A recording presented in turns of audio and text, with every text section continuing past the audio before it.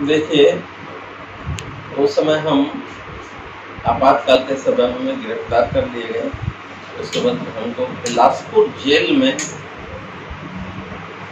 और रखा गया।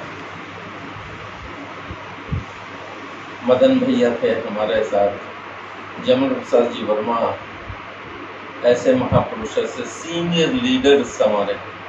और उस समय सौभाग्य की बात है कि उनके साथ मैं और मीसा मीसा तो नहीं आया था मुझे।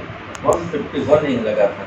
अरे को पहले 151 में अरेस्ट करते थे, बाद में फिर MISA maintenance of internal security act के अंतर्गत फिर अवरुद्ध किया जाता था, उनको जेल में रखा जाता तो उसके पहले ही मीसा लगा नहीं और मुझे कुछ दिनों बाद छोड़ दिया गया।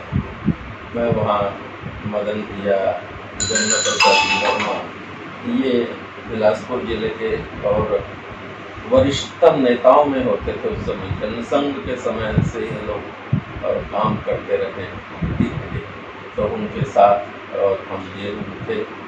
ये हमारे जीवन को बहुत अविस्मरणीय अनुभव है कि, और सौभाग्य है, मैं तो कहता हूँ कि इस ऐसे प्रसंग पर हमको और जेल में डाला गया।